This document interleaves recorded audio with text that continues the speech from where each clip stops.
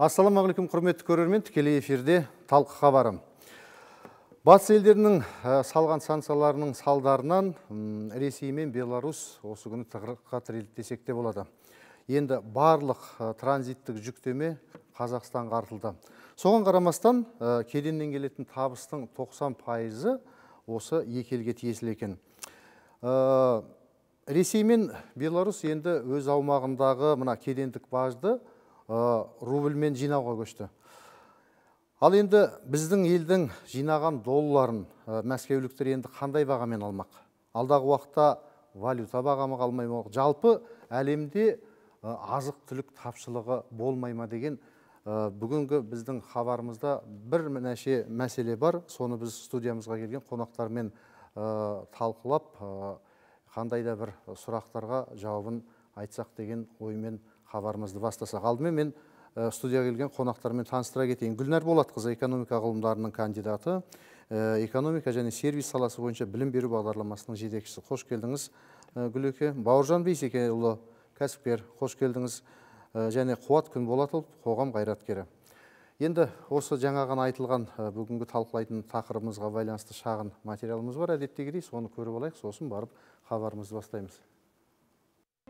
Еуразиялық экономикалық одақ бірыңғай рубльдік кеңістікті қалыптастыруға кірісті. 18 наурызда ресей экономикалық даму министрлігінің басшысы максим решетников еуразиялық экономикалық одақ елдері рубльмен өзара есеп айырысуға көшеді деп мәлімдеді. Айтуынша бұл шешім ресей үшін өте маңызды мәселелердің бірі. Қазірде ресейге салынып жатқан санкциялар саны артып барады. Тығырыққа тірелген путин тауарларын еуро одақ пен жеткізіп ақшасын олардың валютасымен алудың мәні жоқ. Сондықтан қысқа мерзімде төлемді рубльге аудару бойынша шаралар кешенін жүзеге асыратынын айтқан болатын. Оған кіретін мемлекеттер ресейден бөлек беларусь қырғызстан армения қазақстан ал біздің сарапшылар бұл жағдай орын алса қазақстанға санкцияның салқыны тиеді деп отыр.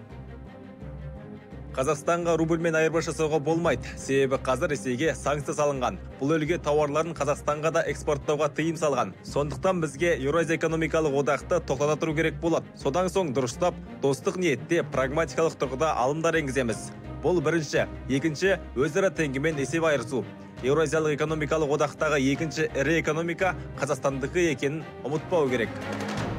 Ресей бастағанды беларусь қоштап отыр. Себебі екі елде де санкция саны басым. Енді барлық транзиттік жүктеме қазақстанға түсіп жатқаны белгілі. Соған қарамастан кеденнен түсетін табыстың 90 пайызы осы екі ел құзыретіне кіруде. Өткен аралықта еуразиялық экономикалық одақ пен қытай арасында ортақ валюта құру туралы ұсыныс айтылды. Ресейдің ондағы мақсаты көрші елдің әлемдік нарықта үлкен үлесі бар екенін ескере отырып долларды ығыстырып юаньді әлемдік валюта жасау болатын. Бұл басталып та кетті. 27 наурыз күні қытай мен сауд арабия арасындағы мұнайды юанға сатып алу туралы нақты келісім жасалды. Жағдайды тиімді пайдаланып отырған ресей қытай мен екі арада ортақ валюта жасауға көшіп отыр. Бұл жағдай жалғаса берсе қазақстан экономикасы қалай болмақ? Үнемі осындай бір сұрақпен аяқтаймыз. Шынымен де ә, мінекей жаңа көрерменіміз де көріп отыр сіздер де қысқаша материалдан шағын бір сараптамалық мәселені көрдік. Гүлнәр ханым мінекей жаңа өзіңіз көріп отырсыз. Біз мына еуразиялық одақтың мүшесіміз. Ертеңгі күні ресей мен беларусьқа салынып жатқан санкцияның салқыны бізге де тие ме деген тағы бір сұрақ тұр. Енді жаңағы сарапшының сөзін де естідіңіздер. Біз әзірге рубльді қолдануды оны оған жаңағы енгізуді экономикаға тоқтата тұруымыз керек деп жатыр. Жалпы сұрақ көп. Қалай болмақ? Өзіңіз ретімен бастасаңыз соны. Енді біріншіден қазақстан өзі сырттан отызға жуық елден тауар әкелінеді қазақстанға. Соның импортталады қырық иә импортталады. Қазақ жаңағы оның қырық екі пайызы осы ресеймен келеді. Және жиырма пайызда жуығы қытай мемлекетімен. Сондықтан да бұл жерде және де көп тауарлар қазіргі қажетті өндірістік тауарлар оның ішінде тағы дәрі дәрмек бар қазіргі күнделікті қолданыстағы құрылыс материалдары мұнай жаңағы бензинді айтпаған күннің өзінде қаншама тауарлар осы ресей мемлекетінен келеді. Сондықтан да ресейдің қазіргі позициясын біз көріп отырмыз. Ол рубльмен деген нені ол қолданып жатыр. Қазір ол евроодақ елдерінде де сауда саттық иә ол қазір мына газдың иә мынау көмірсутегі ә, және мынау минералдық дейміз удобрение көктемге қажетті. Осының барлығында рубльмен беруге көшейін көшіліп отыр уже басталды. Сондықтан да бұл жақтан қарағанымызда бұл ә, қазір біз ә, толығымен ол неден тауар алудан немесе импорттаудан жаңағыдай тоқтайта тұ- тұрамыз деген бұл болмайды. болмайтын нәрсе. Ә, бірақ біздер одан да басқа ә, қазір ә, мемлекеттерден мысалға бізге тауарлар келуде. Бірақ соның өзінде де бізге барыбір кейбір жағдайларда қазір басқаша іс шараны қолданып жатыр. Өйткені м, жаңағы транзиттік мәселелер бар. Ә, сонымен қатар қазіргі кезеңдегі мынау қазақстанға мына ресейдегі санкциядан кейін көп жаңағы кәсіпорындар бізге келе бастап жатыр. Және де қазіргі мынау жағдай біздегі қазақстандағы мынау цифрлық экономиканың жоғары деңгейде болуы. Бұл да келіп басқа мемлекеттермен ә, байланыс жасауды экономикалық байланыс жасауды жоғарылатады. Ә, сондықтан да ә, қазір бұл мәселе шешімін табады деп ойлаймыз. Енді жаңа айтып отырмыз бір сөзімізде. Мысалға ол біз қалай болғанда да осы көрші елдермен тығыз байланыстымыз. Ол саяси ол экономикалық ол мәдени басқа енді қазір дәл қазіргі уақытта бізді алаңдатып отырған ол ең бастысы сіз өзіңіз айтып кеттіңіз жаңа сырттан келетін ә, тауарлардың импорттың 42 проценті осы ресеймен байланысты деп отырсыз иә? Ол 42 деген үлкен үлес экономикадағы. Енді ол қазір әлемдік саясатқа да көз жүгіртетін болсақ жаңа айтып отырмыз мысалға транзит. Демек қазақстан арқылы өтетін тауарлардың енді былайша айтқанда ресей мен белоруссияға осы ел арқылы өтіп жатыр. Ә, оның жаңағы ә, кедендік бажында айтып кеттік. Ол біз арқылы өтіп жатқанымен ол өздеріне түсіп жатыр деп. Жақсы оны бізге мәселен мен енді экономист емеспін саясаткер емеспін. Бірақ мысалға бір ә, логикаға салатын болсақ осы қазіргі жасап жатқан біздің әрекетіміз ертеңгі күні еуропаның жаңағы ресей мен беларусьқа салып отырған санкцияларына байланысты солардың ә, талаптарына байланысты қайшы келіп ертең бізде ілініп кетуіміз мүмкін бе осындай санкцияға? Онда қалай болмақ деген мәселе. Ә, өзіңізден я болмаса күлеке қандай ойларыңыз бар осыған байланысты? Енді расында қазіргі жағдай өте қиын. Ә, дүние жүзі жылжып бастады. Бұрынғы америкаға негізделген ә, дүние құрылым ыдырап бастады өз біздің көзімізше. Соның салдарын біз көріп отырмыз қазіргі ә, ә, жағдайда. Енді ә, біз қазақстанға мына ресейдікі ресейдің саясатының басты себебі неде? Бұлар бір жағынан өзінің экономикалық зона дейді ғой аймағын құруға тырысып жатыр. Соған со- сол экономикалық аймаққа неғұрлым көбірек мемлекеттерді кіргісі, кіргізгісі келіп жатыр. Иә. демек қа- осы заманауи экономистердің есептеуі бойынша а, экономикалық а, жаңағы аймақ өз өзін қамтамасыз ететін болу үшін толығымен тауар шығарып өзі сатып алатындай болу үшін аз дегенде кем дегенде 300 миллион халық болу керек екен. Демек қазір ресейде 145 миллион. Егер өзінің ай- осы экономикалық аймағына тағы басқа мемлекеттерді кіргізіп 300 миллионға жеткізсе онда ресей толықтай сыртқа ә, тәуелсіз ә, бөлек бір ай- экономикалық аймақ болады ғой. бола алады. Шикізаты да бар дайын өнімі де бар оның айналымы да болатын үлкен бір аймаққа айналады. Айналады иә. Сол сол саясатты біз көріп отырмыз. Дегенмен біздің саясатымыз өз мемлекеттік ұлттық саясатымыз бізге а, көп векторлы ғой. Барлығымен дос болу ол ең а, тиімді бізге. Бірақ өзіміз көріп отырмыз ол, ол, ол саясатты ұстану өте қиын болып келе жатыр. Қазір таңдау керек болады. Біз ә, географиялық жағынан осы қытай мен орыстардың арасында қысылып отырғандықтан бізге осы екеуінің біреуін таңдауға тура келеді. Америка ол алыс. Өздеріңіз білесіздер. Енді мына таңдаған кезде санкцияға ілініп кетпейміз бе дейсіз? Әрине ілініп кетеміз. Бірақ әзірше қисайып жүріп дірілдеп отырып әйтеуір келе жатырмыз. Пышақтың жүзін жүзімен ба? Жүзімен иә. дей ма? Солай әйтеуір тырбыңдап кетіп бара жатырмыз. Меніңше жалпы дүние құрылым өзгереді. Бітті. Ол ол сөзсіз. Мына американың үстемдігі жойылады. Қытай бас көтерді ресей бас көтерді. Демек дүние жүзінде үш төрт мүмкін бес экономикалық экономикалық аймақтар құрылады. Олар бір бірімен тікелей байланыста болмайды. Олардың арасында байланыс болу үшін белгілі бір механизмдер болады. Мысалы өздері бір бірімен тауар алмасу үшін белгілі бір істер жүргізу үшін бір механизм құрылады. Ол әлі белгісіз. Мүмкін менің ойымша ол белгілі бір мемлекеттер арқылы жүргізіледі.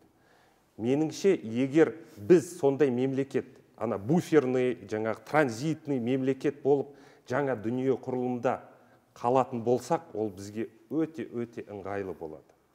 Бірақ әзірше толығымен көзім жетіп тұрған жоқ. Біз одан жаңағы біреудің экономикалық зонасына кіріп кетпейміз дегенге әлі көз жаңа сеніп отырғаным жоқ. Сондай біз әдетте қоса қоса иә. кетсем қазіргі кезде еуропаның экономикасы негізінен ресейдің шикізатына да тәуелді. Мына көмірсутегі дейміз. Мына осы ненің барлығы да көбіне ресейден алынатын. Сондықтан да қазіргі кезеңде бұл санкциялар еуропада елдеріне де аса тиімсіз. иә.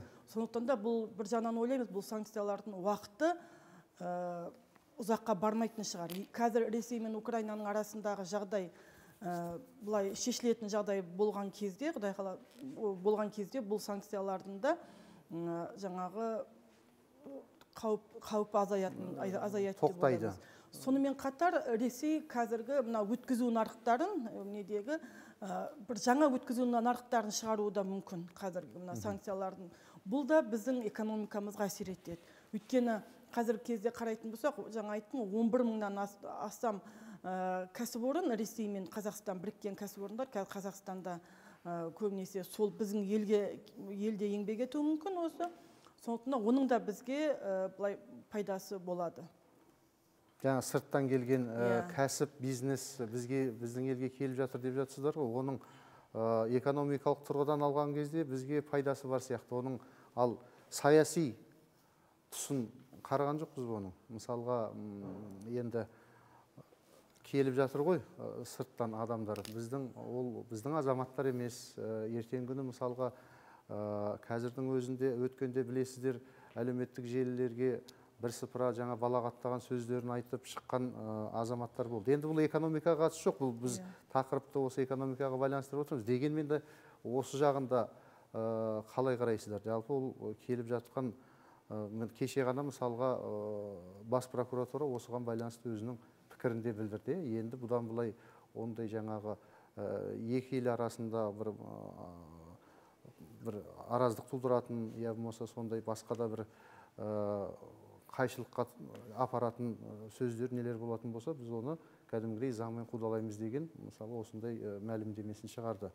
Мен сол жағын сұрап тұрмын да енді бұл жерде бәрібір біз экономикалық саяси мәселені талқылап тұрғаннан кейін ол жағын да қарасақ. Иә әрине қауіпсіздік мәселесі ол да иә. бар ол онсыз не болмайды және бұл ә, қазіргі кезде ә, бізде осы бұрыннан да осы тмд елдерінің арасында инвестициялауда қазақстан жоғарғы орында өйткені ол біздегі тұрақтылық экономикалық біздегі саяси ахуал.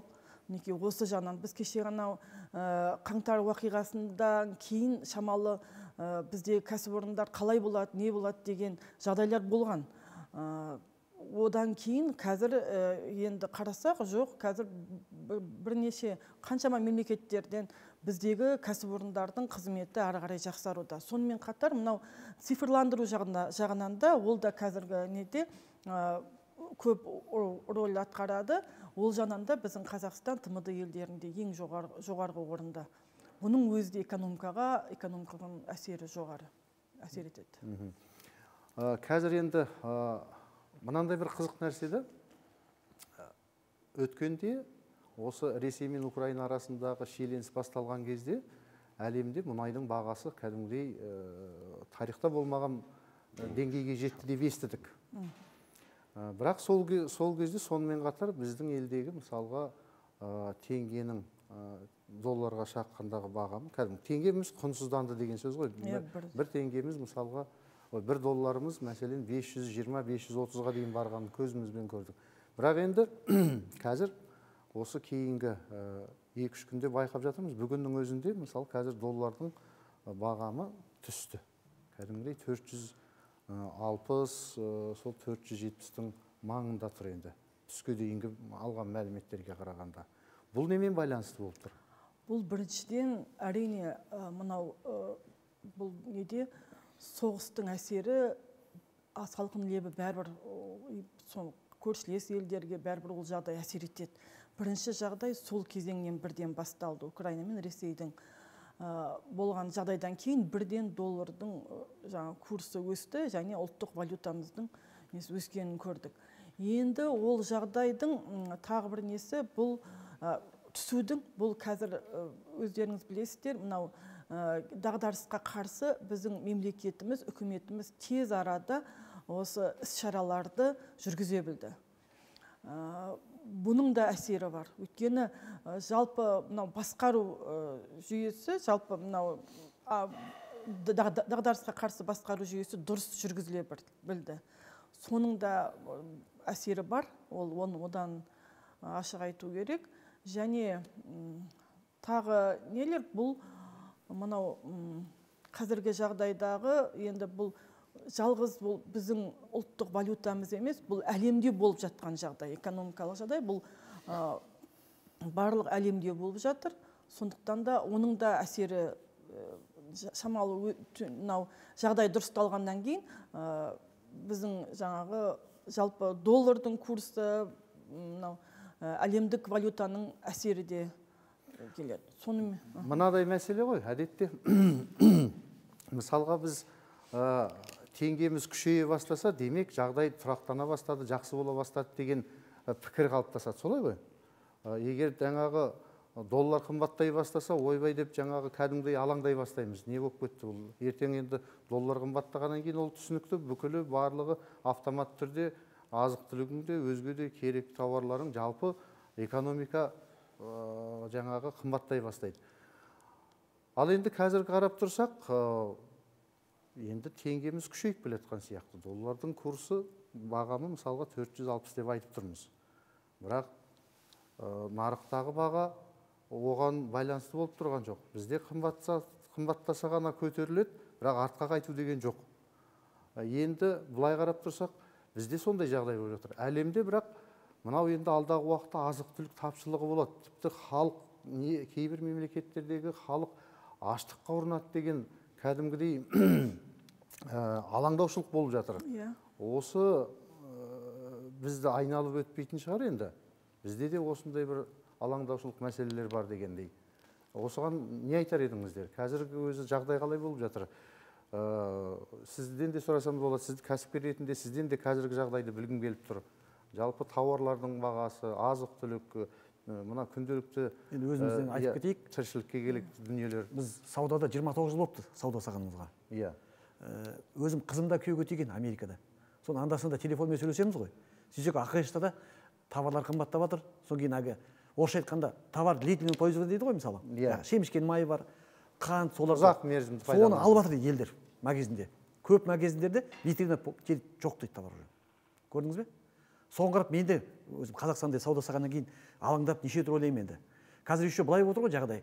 Мен алматыда араласатын жеке кәсіпкерлерім бар да. Сол көбі фирмалардың басқа, басқа біреудің атына аударып жатыр.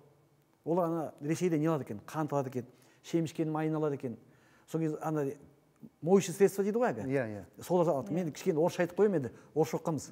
Ол жағынан ренжімеңіздер. ең бастысы біз мәселені түсіндірсек болды ғой. содан видите біздің магазинде қазір если ресейден біз товар алмасақ қырық процент витрина босап қалады екен. Гүлнар ханымның айтып тұрғаны сол сол үшін біз ресеймен жұмыс жасау керекпіз. Бірақ оған қарамай мен өзім ойымда өз пікірімді айтып жатырмын. Біздің мемлекет ә, жеке кәсіпкерлер әлгі жаңағы қант отырғызатын жаңағы қызылша отыратын. Содан кейін шемішкенің майын ш- шемішке шекердек дейді ғой. Соны отырғызатын адамдарға субсидия беріп удобрение беріп техника жағынан скидка беріп кішкене көмектесу керек. Бір осы бес жылдың ішінде біз уже өзімізбен өзіміз жаңағы шемішке майын да россиядан алмау керекпіз ресейден ә, қантты алмау керекпіз. Өзімізде болса баға тұрақты болады. Санкцияға да қарамаймыз ешқайда қарамаймыз. А енді алматыдағы жеке кәсіпкер кісілердің бәрі қорқып фирмаларын біреуге аударып жатыр. Оказывается кім ресеймен жұмыс жасайды сол америкадан санкцияға түсіп қалады екен сол, соның директоры. Көрдіңіз бе? Мысалы бар ғой мен если қазір фирмамды алып контрактқа отырсам белградтағы қант шығаратын заводпен то мен америкаға қызыма бармай қалады екенмін уже. Көрдіңіз бе? Сол сияқты болып отыр жағдайлар. Сонда ол жаңағы санкцияның салқыны тек қана екі елдің өзіне ғана емес Иә. сыртта да сонымен байланысты, Байланысты компания болсын жеке тұлғаларға да сондай болып жатыр ма сонда? Сондай болуы мүмкін деп елдер қорқып жатыр а алматыда ол болжам ғой қазір. Болжам, Ол бірақ нақты ол Бірақ әлі пока болған жоқ. шешім қабылданған жоқ. Енді былай қарап отырсаң бар ғой енді не дейінші тарихпен қарасаңыздар иран уже отыз жыл болды санкцияда отыр. Экономикалық эмбарго иә. көрдіңіз ба венесуэла міне последний он жыл болды отыр. Соған қарап ойлаймын ресейге жағдай жасайтын болса бізге уже ресейге қарамай біз өзіміздің ана жеке кәсіпкер адамдар бар ғой соларға субсидия беріп көмектесіп аяққа тұрғызу керекпіз. Сонда ғана біз мемлекетіміз жағы тамағымыз да болады ұнымыз да болады шемішкенің жағы майы да болады сұйық май қантымыз да болады. Өңкесін енді басқа мемлекеттерден ақырын ақырын алуға болады. Дұрыс жалпы қазір қарайтын болсақ мынау аграрлық саланы дамыту керек деді. Биыл біздерде жаңа ол шындық мынау көптеген елдерде қазір аналитиктердің айтуы бойынша жалпы мынау не тауар тапшылығы азық түлік тапшылығы көрініп жатыр ол.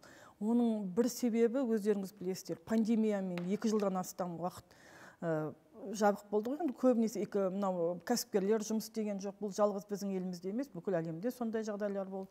Оның салқыны тиіп жатыр ол. Сондықтан да азық түлік қауіпсіздігі ой азық түлік жаңа тапшылығы ол болатыны рас. Бірақ біздің елімізге ол аса бір қауіп әкелмейтіні сияқты. Себебі өздеріңіз білесіздер қазір біздің жаңа сіз айтқандай көбіне де осы азық түлік өнімдері бізде биыл енді жағдай да жақсы болады дейді жауын шашын болып жатыр биылғы өнім болады деген ә, кәдімгі мүмкіндік бар. Бірақ соған иә көмек керек көмектесу керек. Біз- биыл сол аграрлық өнімнен жақсы не алатын шығармыз сол мәселе. Және де мынау туризмді дамыту. Осы жағынан да қазіргі мына қызмет көрсету саласы бұл да екі жыл екі жыл үш жылға жуық. ә, кішкене жаңағы төмендеп кетті.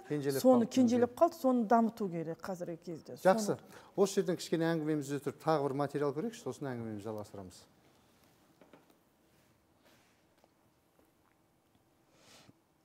Әлемде ашаршылық болуы мүмкін. Біріккен ұлттар ұйымының бас хатшысы антони гутерриш соғыстың салдарынан азық түлік тыңайтқыштар энергия тағы басқа заттар қымбаттап жатыр. Бұл жағдай өрши берсе әлемде 2022 жылы ашаршылық болуы мүмкін дегенді айтқан болатын. Айта кету керек ресей мен украина бидай экспорты бойынша әлемде 30 пайызды құрайды. Бұл дегеніміз өнімнің үштен бір бөлігі. Демек әлемде осыған байланысты ұн тапшылығы болатыны айтпаса да түсінікті. Бұның салдарынан қазақстанға қауіп бар ма? Мұнай бағасының қымбаттауы. Бұлардың барлығы жанама түрде егістік өнімдеріне олардың қымбаттауына алып келеді. Әрине бұл жерде төлем қабілеттілігі төмен елдер біраз зардап шегеді. Дәл қазір қазақстанда бұл қауіп жоқ деуге негіз бар. Себебі біз өз өзімізді 95 пайыз ұнмен қамтамасыз етіп отырмыз. Сондықтан да бізді азық түлік тапшылығы орын алуына негіз жоқ дей тұрғанмен баса назар аудару керек. Себебі сырттан келетін өнімнің 40 пайызы ресейден әкелінеді. Сарапшының пікірі осындай. Дегенмен таңнан кешке дейін ұн өнімін пайдаланып отыру мүмкін емес. Бұдан бөлек те азық түлік пен тамақтың бағасы өте қымбат. Және офисте пайдаланылатын А4 ақ қағазының бағасы күрт өсіп қазір тіпті тапшы болып отыр. Мынау енді ә, жаңағы біздің бастап жатқан әңгімемізге бір ә, тұздық болатын материал. Өздеріңіз көріп отырсыздар. Оны мен ойдан шығарып отырған жоқпын. Сіздер де мысалға айтып отырған жоқсыз. Бұл әлемдік сарапшылардың қазір ә, пікірі. Алдағы уақытта ол енді ә, біліп отырмыз жаңа 30 әлемдегі мысалға бидай өнімдерінің экспортының 30 пайызы осы ә, украина мен ресейге тиесілі деп жатыр енді екі елдегі жағдайды көріп жатырмыз. Жақсы мүмкін ресейде ол ары қарай жұмысын жалғасатын шығар жаңағы егіншілік мәселесі шаруашылығы. Ал енді украинадағы жағдай ол қазір ә, егін екпек түгілі ол басқа бастарындағы қайғымен өздері әуре болып жатыр. Ал қазақстанға келейтін болсақ қазақстанда бізде де мысалға солтүстік өңірлерде әсіресе мынау егін алқаптары жетерлік. Біз өз өзімізді қамтуға мүмкіндік молынан бар. Бірақ мәселе бұл жерде жаңа сіз айтып кеткендей мемлекет тарапынан қандай да бір енді сол шаруа қожалықтарына диқандарға бір жеңілдік жасалып мемлекет тарапынан көмек жасалып мына жанар жағармайы бар сайманы бар жаңағы одан кейін түрлі жаңағы егетін дәрі дәрмектері тыңайтқыштары бар деген осыны енді жылдам шешпесе бізге де қиын болады ма деп тұрмыз. Оның үстіне қараңыз жаңа енді соңында ол азық түлікке қатысы жоқ нәрсе бірақ қағаз деп отыр иә. Қандай қымбатшылыққа түсіп кетті. Ол немен байланысты болып жатыр? Міне осындай бірімен бірі байланысты дүние болып тұр ғой бұл экономика дегеніміз. Соған қарап бізде жағдай қалай болады? Енді халық неге дайын болу керек? Бір замандағы жаңағы қой үстіне бозторғай жұмыртқалаған уақыт жоқ. Енді ол да көп болған жоқ қой дегенмен ә, қазір әлемде мынандай жағдай болып жатқан кезде бізде бір ә, тартынып ішіп ә, жаңағы біраз нәрсені үнемдеп тартына ішсе тай қалады деп қазақ айтпақшы. Одан кейін бір әрекетімізді жасау керек шығармыз. Өйтпесе мына түрімізбен шынымен де бізде кәдімгідей ол ә, жасырғанмен ол бәрібір алдыңнан келеді. Сондықтан қандай бізде амал бар әрекет бар түсінікті біз әлемдік экономикаға мемлекеттің экономикасына қарапайым қатарда жүрген адам ешқандай да әсер ете алмайды ғой. Бірақ дегенмен әркім өзінше бір соған дайын болса ең құрығанда жаңа психологиялық тұрғыдан дайын болса деген мәселе. Бұл біреуді үркіту я болмаса мына жерде бір ә, жалған ақпарат тарату мәселесі емес. Бұл жерде біз ә, осы жағдайға ә, шын мәнінде бір көңіл бөліп назар аударып соған қарасақ сіздер не дейсіздер? Жалпы не істеуіміз керек? Ойларыңызды айтсаңыздар. Негізі м, жаңағы айтып кетіп едік қой дүние жүзі өзгеріп жатыр. Бұрынғы ережелер көзіміздің алдында сынып жатыр құлдырап жатыр. Демек біз артына қайта шегініп барып бұрынғыдай өмір келеді дегенді ұмыту керек. Болды ол келмейді. Кетті. Демек болашақ жаңа ережелер қалыптасқанша дүниежүзілік құрылымның жаңа ере- ережелері қалыптасқанша осындай әртүрлі қитұрқылар болады. Сондықтан халық жақсы болады деп сене берген дұрыс емес. Кейбіреулер мысалы мен естіп жатқаным ә, барлығы құлдырайды кредит алып алайық деген. Ол да болмайды. Бұндай түсініксіз кезеңдерде кредит алуға болмайды. Кризиске кірудің бірден бір ережесі ол кризиске ә, қарызсыз кіру. Ол бір. Екінші азық түлік жайын айтып кететін болсақ расында да ә, ресей мен украина дүниежүзілік ә, бидайдың нарығының 30 пайызын ұстайды. Олар ә, дүниежүзілік нарықтан кетті деуге болады. Олардың ә, жаңа өнімдері халықаралық нарыққа шықпайды. Ол ол ол деген сөз ә, африка мен ә, жаңағы қиыр шығыстың көптеген мемлекеттері осы ұнмен өмір сүреді екен. Демек аштық болады. Бізде қазақстанда қалай болады? Бізде қазақстанда әрине мүмкін ұн жағы тапшылық болмайтын шығар бірақ қымбаттауы орын алады себебі бұл инфляция. Бұл инфляцияны қазіргі таңда қазірдің өзінде импорт пен азық түлік 13 пайызға ә, жоғарылаған дейді қымбаттаған дейді мәселен. Қараңыз алдағы уақытта қалай болады мәселен? Ә, жалпы ә, бізде мүмкін аштық болмайтын шығар қазақстанда. Иә құдай бетін бірақ арғысын бірақ дефицит деген нәрсе орын алады. Бұрынғы ана тоқсаныншы жылдары ұмытып кеткен ә, түсінік дефицит деген орын алады көптеген тауарларға. Мысалы қазіргі мына ә, жаңағы бейне таспада айтылған ә, қағаз жөнінде. Ол дефицитқа көшеді. Оның сіз сұрай кеттіңіз себебі неде дегенде ана қағазды ағартатын ә, химикаттар шетелден алып келінеді екен. Сондықтан ә, осындай ә, тапшылық орын алып жатыр. Сондықтан мысалы ә, инфляция жоғарылайды көптеген тауарлар қымбаттайды. Олар көп, көп адамдарға қалтасына жаңағы мүмкіншілігі болмайды сатып алатын иә. сондықтан ә, ең ә, жаманға дайындалу керек халық бірақ қорықпау керек. Ол жаңа объективті процесс ол өзгеріс.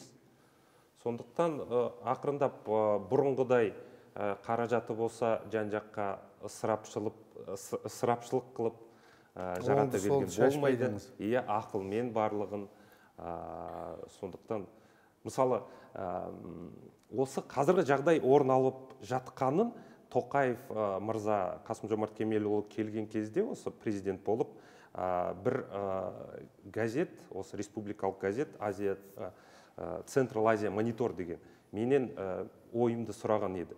Ә, сіздің ойыңызша қандай ә, сұрақтарды көтеру керек ә, президент мырза деп? Сол кезде мен бірнеше басты сұрақтарды белгілеген болатын соның ішінде азық түлік қауіпсіздігі. Сол кезде екі жарым жыл бұрын жазғам жылдам түрде осы біздің шаруаларға беріліп жатқан кредиттердің пайыздарын төмендетіп оларға бүкіл мүмкіншілігін жасау керек. Себебі кризис басталған кезде біз сыртқы нарықтарға неғұрлым тәуелсіз боламыз соғұрлым жақсы болады деп жазған едім. Енді біз жыбырлаған жоқпыз. Енді басымыздан жай түскендей болды. Мына санкциялар мына соғыс ә, экономикалық құлдырау енді жыбырлау әлдеқайда ауыр болады бізге бірақ жыбырлауымыз керек.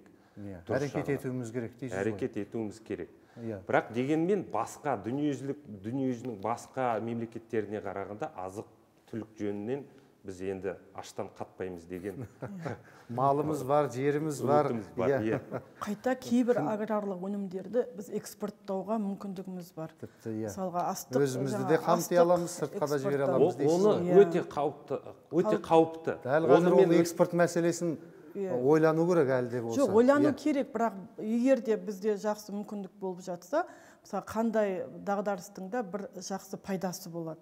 Біздің бір жағынан ойлаймыз осы дағдарыстың біздің елімізге де пайдасы болатын шығар және де жалпы халықтың да ол анау тоқсаныншы жылдардай ақ емес халық қазір ақпараттандырылған Жоқ, әлбетте енді ол ы, 90-шы сауатты, жылдарда тоқырауға иә, сауатты барлығы иә сол кейбір нелер сол ақпарат көздері сөйтіп жатыр. Бірақ сауатты және бізде қазіргі сондай неге мобильді өзі. Қазір біз мысалы шағын кәсіпкерлікте болсын бізде иә, қай жағынан алатын болсақ та ә, халықтың да мүмкіндіктері бар. Кейбір осындай жағдайда мүмкіндіктер ашылады қайта. Негізі қазір ә, халық мыса- мысалы тоқсаныншы жылдардағыдай осы үш төрт ай бұрын мен өзімнің әріптестеріме айтқан болатынмын үш айлық азық түліктеріңді сатып алып отырыңдар деп. Сол кезде маған айтты қойшы қай қайдағыны айтпай сен немене деп. Қорқыта бересің бізді. Сол келді қазір біз алып отыруымыз керек. Иә. Ұтылмайсыздар. Ұтылмайсыздар. Себебі инфляция жүріп жатыр. Дұрыс қой. бәрібір. Ол қолыңда қаражатың болса үш айға қор жасап қоюға болады. Енді бірақ халықтың ол Иә. Барлығында күнделікті басқа да шығындары бар ғой мысалы бірақ енді бұл жақсы үш ай қаласың ол қашанға қуып жетесің? Мына халықтың бір кішкене ы, сіз енді білмеймін мен енді өзім пікірім. Осындай қымбатшылық келе жатыр десе жүгіре жөнеліп жаңағы қор жинай бастайды. Ол қор қаншалыққа жетеді мәселен? Жетпейді әрине. иә. Ә, сондықтан енді білмеймін ол ы, ондай бір ажиотажға барудың қажеті жоқ шығар дегенмен де ең бастысы меніңше үнем ысырап деген нәрсені соны қою керек тоқтату керек. Үнемге көшу керек ысырапқа бой алдырмау керек. Бұрынғыдай жаңағы оңды солды біз енді қандай халықпыз өзі құдай өзі қарастырар бір мәнісі болар дейміз дағы. Ертеңгі күнімізге аса мән бермейміз. Той томалақ басқа да жаңағы ы, қаражат экспортты оң сол шашатын нәрселерге құмармыз. Сондықтан соны тыя тұру керек па деген ой. Э, мен сіздерге бірдеңке айтайын десем ана в общем ресей он жыл бұрын дайындалған. Ана өздерінің агро несін жаңағы агрокәсіптерін дайындап олар жерлеріне бір ғой бидай сеуіп көтерді. Қазір жүз жиырма миллион э, тонна бидай жи- жинайды екен. Біз қазақстан ары кетсе бір жиырма миллион шығармыз иә? Иә. Ар- ары- кетсе жиырма миллион. Көрдіңіз бе? Бұрын ресей бізден сатып алатын. Қазір ресей бізге сатып жатыр. Міне ә, последний міне келесі екі жыл болды ғой. Екі жыл болды.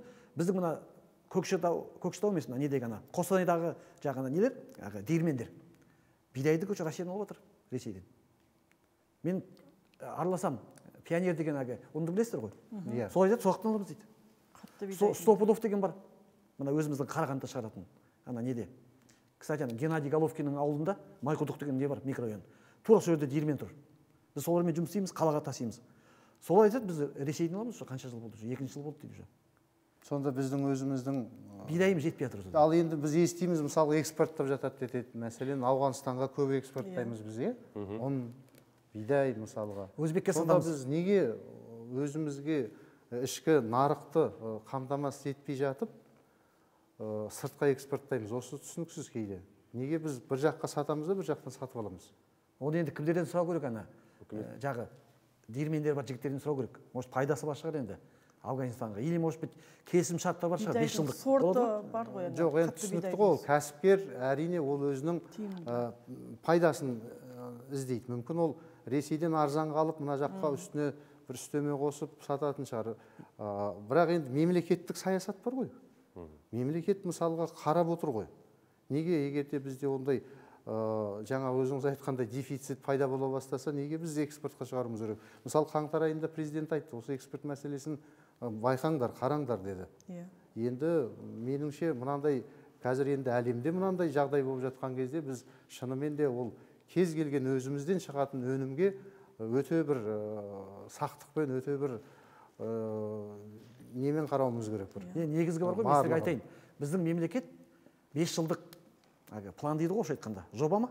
Қазақша айтқанда? Жоспар. Жоспар. Сол жоспарды құрып енді ол әлгі жаңағыны ә, жеке шаруашылықтарға субсидия беріп жаңағыны ә, жанармай жағынан көмектесіп жаңағыны отыратын әлгі дән дақыл сату керек оларға арзан бағамен ол бір жылда білінбейді ол.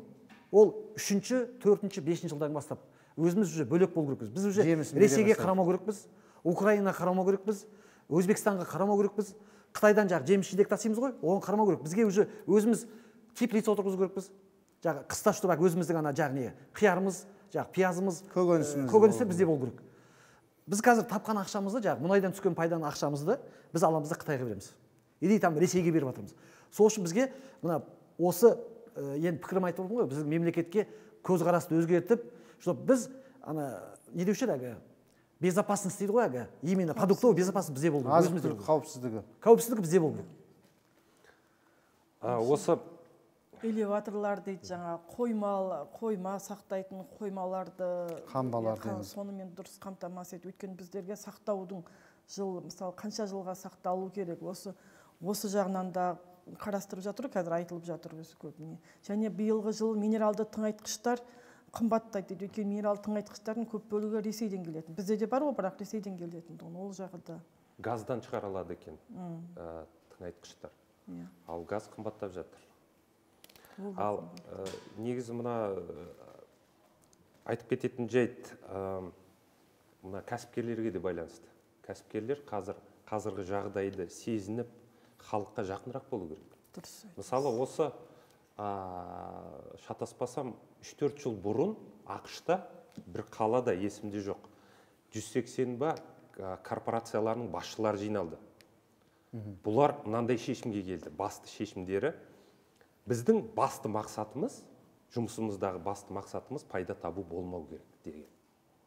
Біздің басты мақсатымыз әлеуметтік жағдайды қалыптастыру деді олар.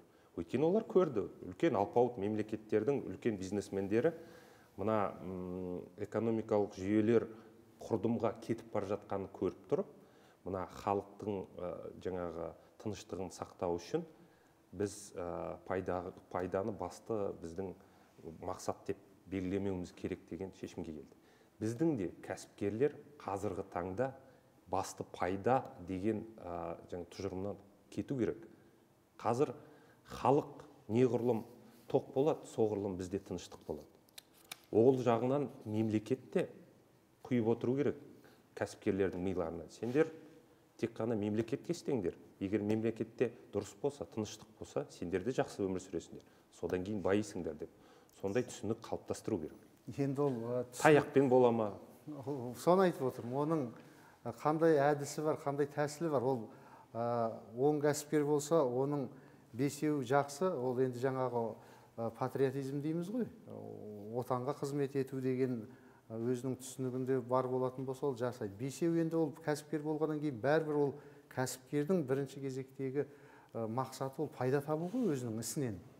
Ал енді ол құр ғана жаңа пайдасыз еңбек ету деген ол үшін мысалға ешқандай да бір алға қойған мақсатына жетпейтін болса онда ол ондай істемейді. Сол үшін бір заң болу керек. Я болмаса керісінше соны құптайтын бір үкімет тарапынан бір жеңілдіктер болу керек па? Мысалға сен пайдаңды көп өсірме керісінше жаңа өнім өндіресің ба басқа қызмет көрсетесің ба?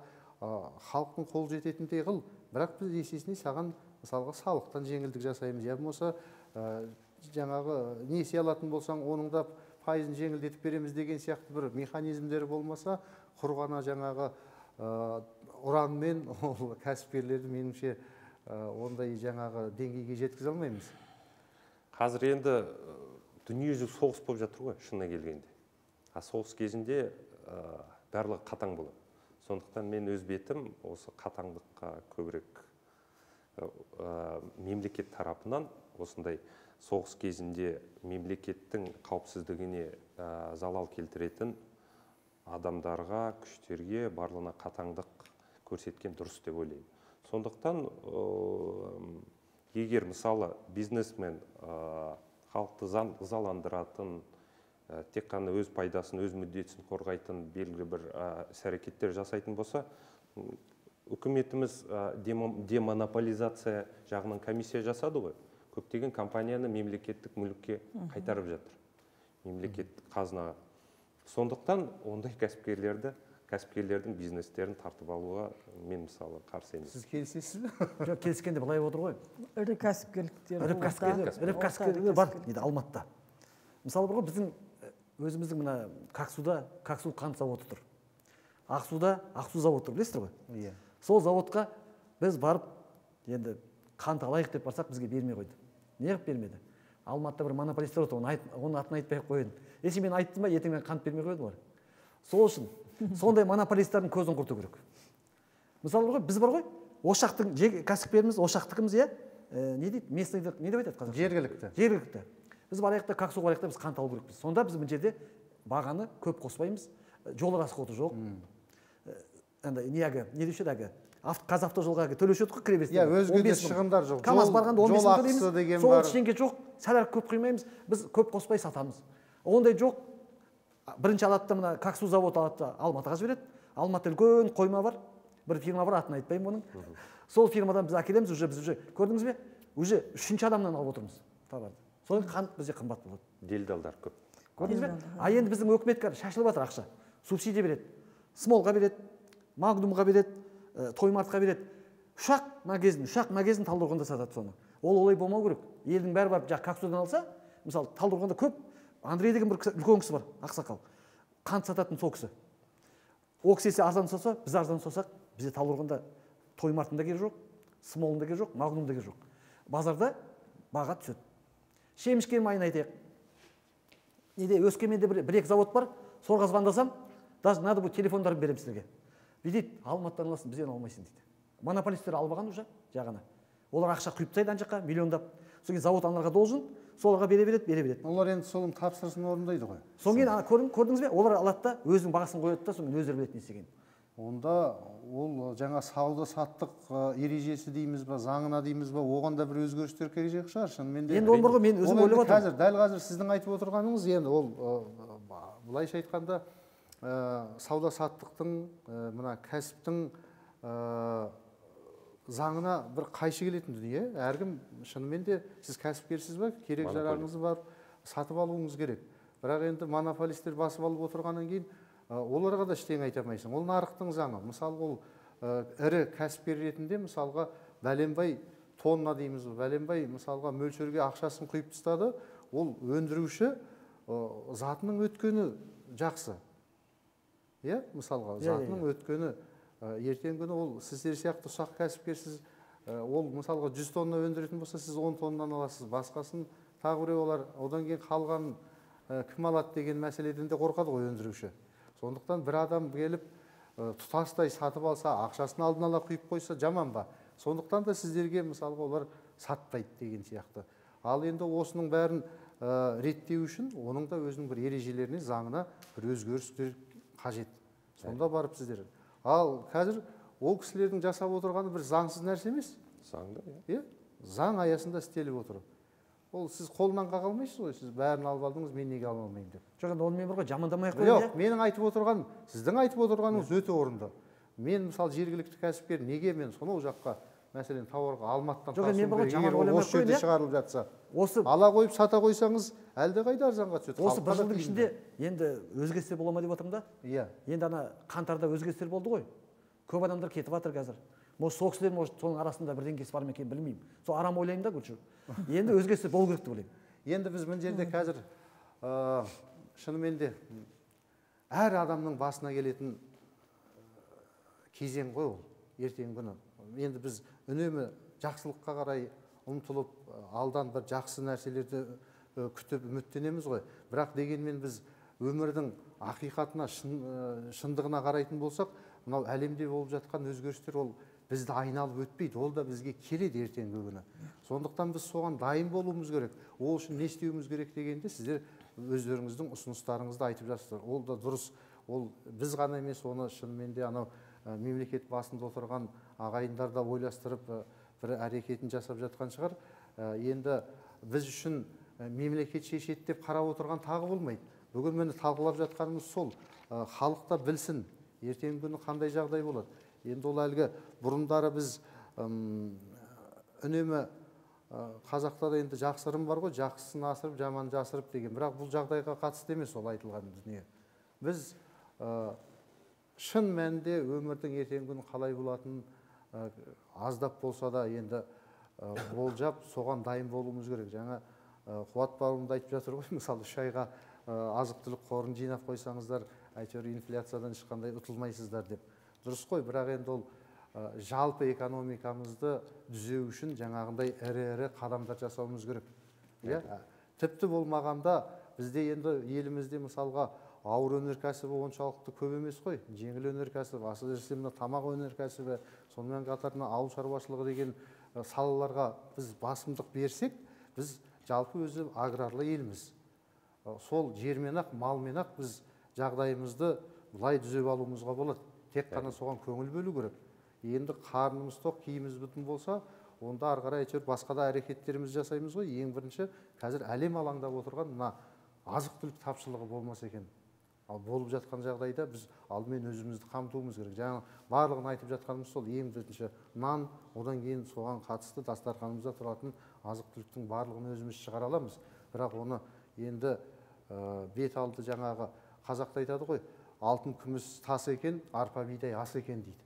Біз енді ә, ақша керек екен тағы да бір нәрсені ә, жаңағы айырбастаймыз деп ішіп жемімізді сыртқа экспорттауды қысқарту керек.